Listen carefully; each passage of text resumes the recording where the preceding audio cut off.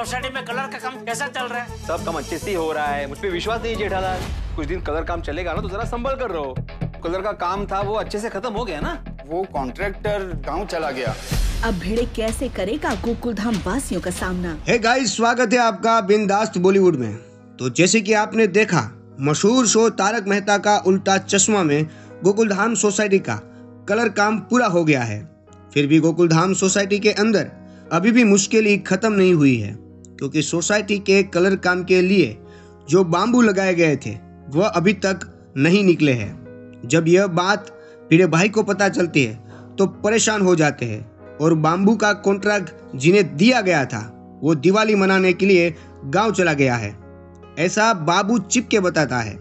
भिड़े भाई की इस मुसीबत का हल कैसे होगा, कुछ पता नहीं, पर एक बात तो ज़रूर है, चाहे कुछ भी हो, हंसना तय है। धन्यवाद दोस्तों कमेंट करके ज़रूर बताइए कि भिड़े भाई की यह मुसीबत किस तरह से हल होगी। और हमारे चैनल को लाइक करें, शेयर करें और सब्सक्राइब करना ना भूलें।